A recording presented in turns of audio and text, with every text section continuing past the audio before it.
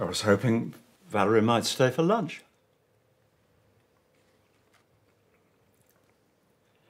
Seems like a nice young lady.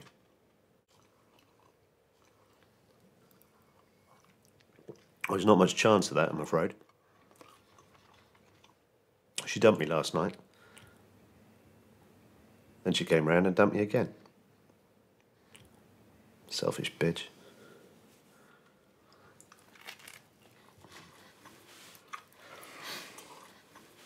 May I ask why? Why she dumped me and why she's a selfish bitch. She had her reasons. What were her reasons? Oh, leave it, Dad, please.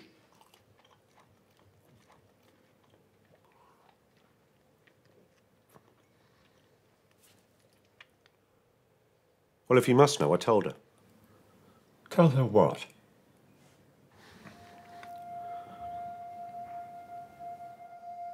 Oh, you know. What your friend did to me when you sent me away to that school. You do remember your friend, don't you? The one that was supposed to look after me because I was scared of being away from home.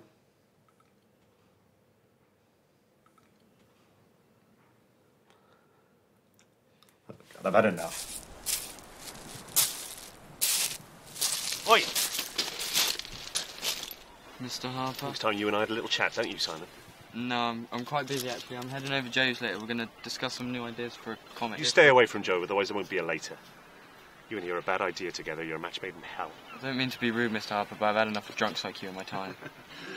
That's my reason. Yeah, every drunk says that. What has she promised you? Who? Her, the brunette. Hannah. You know exactly who and what I mean. Seriously, back off! Hannah is dangerous. You must have nothing to do with her. Because if you do, she'll creep into your veins like a disease and destroy everything around you. I know! What do you know? I know her. I made a comic too. And I made a promise. You see those? Your father wrote those. And I drew the pictures. Pretty good, huh? Like father and son.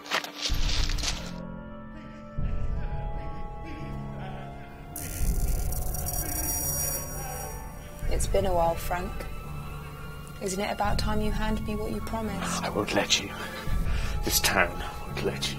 That's not a very nice way to say hi to an old friend. An old lover. You and I would never love us. You loved everything I gave you, but you tried to cheat me. These rooms should have housed you, your family. Leave my family alone. Leave this town alone. You don't cheat me and get away with it. I'm getting there earlier this time. I see a baby. Hmm. Innocence. Stay away from her. They're You monster. All right, the others, they're not in the tent. Now, I've got a plan. We're going to have to go and find them. Oh. They might be in the cave. No! No, no, no, Tommy, Tommy, Tommy, Tommy, listen to me. Look, we're going to have to go and find them. Now, you're going to have to trust me. Please. Tommy, Tommy, do you trust me? You have to trust me. Do you trust me? All right, come on, let's go. Come on, let's go. Up you get. Here you go. Let's go. So the question is, who else knew that you put Clark away? Yeah, and also, who else knew the exact date when he was due to be released? Well, it was all over the papers. Anybody could have done it with a little bit of research. Look, if that contact lens doesn't belong to Clark, then who does it belong to? I'll call Morris, see if he's turned anything up. No, I'll call him. I know the boys at the lab well.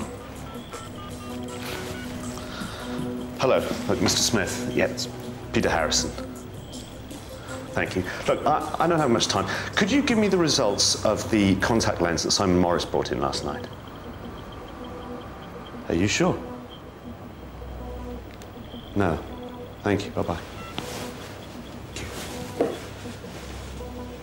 It seems that Simon Morris didn't bring a contact lens in last night. They haven't seen him for days. Apparently, he's at the university.